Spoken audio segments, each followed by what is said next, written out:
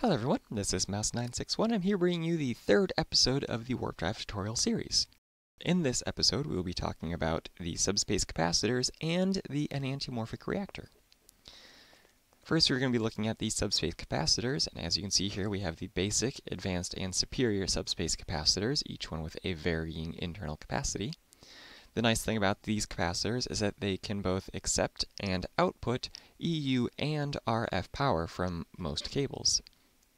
The downside to this, though, is that as the power goes in and comes out, there will be a 5% loss by default, unless you apply one or two superconductors, which act as upgrades. With two superconductors, you have a 0% loss of power going through the capacitor. The last block is the zero-point module, which is a creative-only uncraftable item that has an infinite internal storage and can input and output infinite power. Next, we're going to look at the three primary blocks used in building the enantiomorphic reactor. Now on top of these blocks, you also have the computer, a monitor if you so choose, and wiring to go with it, but these are just the warp drive blocks involved. On the far left here, we have the enantiomorphic reactor core, which, if built in properly, you will see these jammed clouds around it. The proper setup will be shown later, but we're just going to move on for now. The stabilization laser, as you see here, you need four of these around the reactor, and the laser mediums go directly on top of the stabilization laser. So if we come over here and look at this setup, you will see that the reactor core is in the center. You have four stabilization lasers with one block between the reactor and the laser, and you can tell it's built correctly because there's going to be this blue circle right in the middle of the block, whereas on the other sides you don't see that. And the laser mediums have to go directly on top of the stabilization laser. So what happens is power is initially input to the laser medium here, which then goes into the stabilization laser. You turn on your reactor, and as long as you have enough power initially, the lasers will stabilize the reactor until you are creating more power than you're putting in. It is a very recommended idea to put a superior subspace capacitor directly on top of the reactor due to the high energy requirements of the four particle boosters and also the high energy output of the reactor.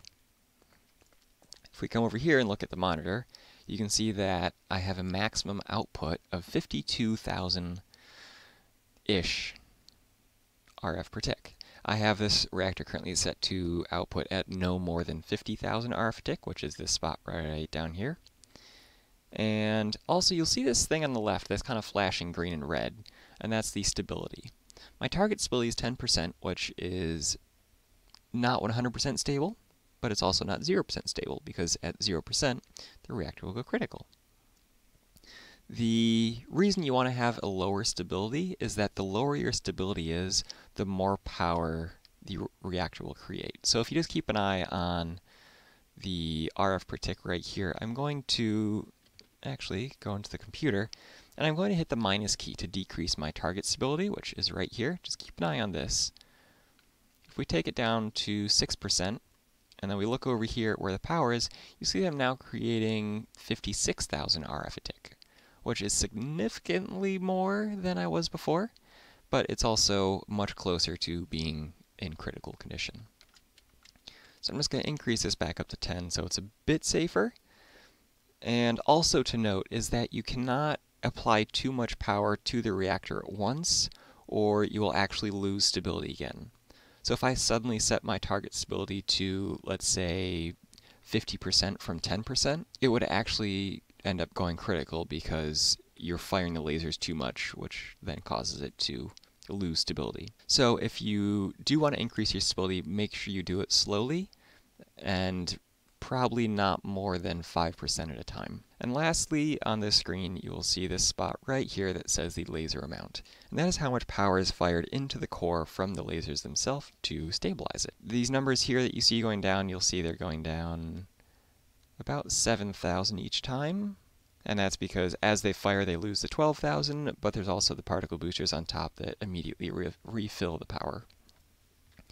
And now I will show you how to set up a reactor. So here's all my blocks I need. I'm going to just move all these down. I have the reactor core, which should actually be off the ground by one.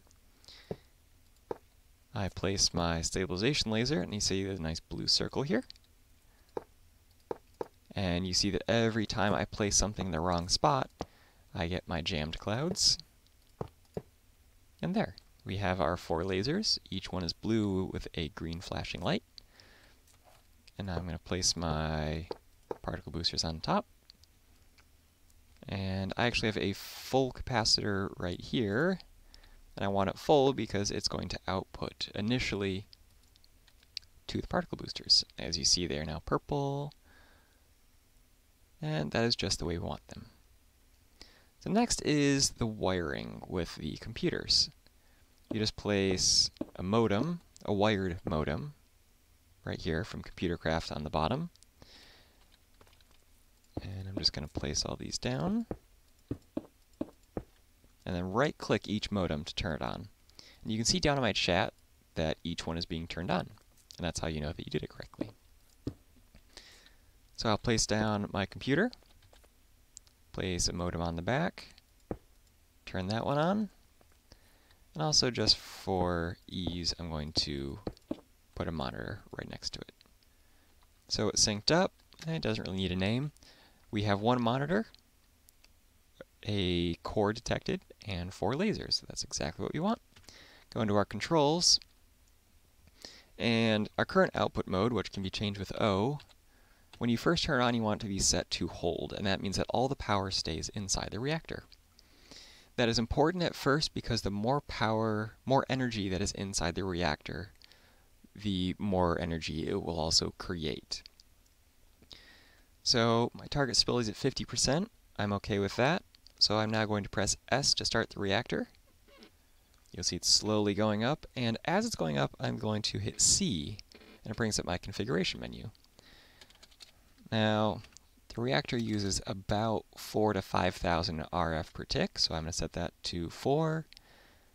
My energy level, personally, I like 12,000.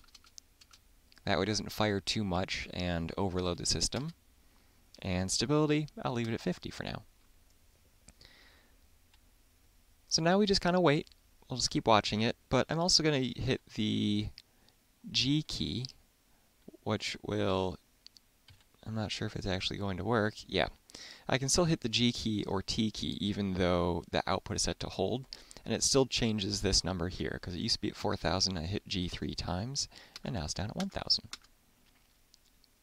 So, as we see here, we're increasing our output fairly quickly, so I'm going to press O, but I'm going to press O quickly because at first you have unlimited, which is just going to start drawing all the power out of the system. We don't want that. We have our surplus above 1000, and then we also have rated at 1000. Personally, I like the rated system, because that way you can see exactly what is going on, and you can more clearly configure the computer. And actually, now that we're at 2000 RF per tick, I'll press T. So my output here is at 2000. That's exactly what I want. And there we go. We got a good setup going. And as I said before, as this number increases, your output of RF per tick will also increase. And there is a difference between this number here, which is how fast the power in the reactor is increasing, and this one here, in that this number here is actually what you are outputting. And I can show you over here on this one. You see that my outputting is flashing, and that's because both the subspace capacitors are already at capacity. And lastly, a little fun setup we had, and obviously it had a rough time based on the holes around it, the bedrock, but this shows that you don't just need to use certain mods to create the system. Because in this one, we actually use Buildcraft, and we also inverted it, so that way all the the laser mediums are on the bottom with the wires on top. So you can change around how you build it, but it has to be in the horizontal design like this. You can have the particle boosters on top or bottom. And now, for the fun part, I have this reactor here, which has been running for a little while. And I'm just going to go in here and hit the minus key until my target stability is at 1%. And we're just going to watch the stability here as it slowly goes down. And also, if you look over here, nothing else is changing except stability, and we're already up to 60,000. It doesn't look like it's going to be going critical anytime soon. So I'm just going to help it along a bit. Remove all the power, and it'll continue running for a little while. But you see the particle boosters getting darker and darker. There's not as much power in them. You also see here the lasers. Well, that blew up kind of quickly. so, here's the explosion size of the reactor. and this is why you want to have your reactors armored and placing armored blocks around your reactor in case something does go wrong. And if we come back to this one, yep, it's still going along nicely, outputting at 2,000, but we are creating 7,000. So I'm actually going to go over here and increase it a little bit more. And a general rule is that the lasers themselves require about 5,000 RF a tick for all four of them. And now that we've gone through everything, that is the end of the video.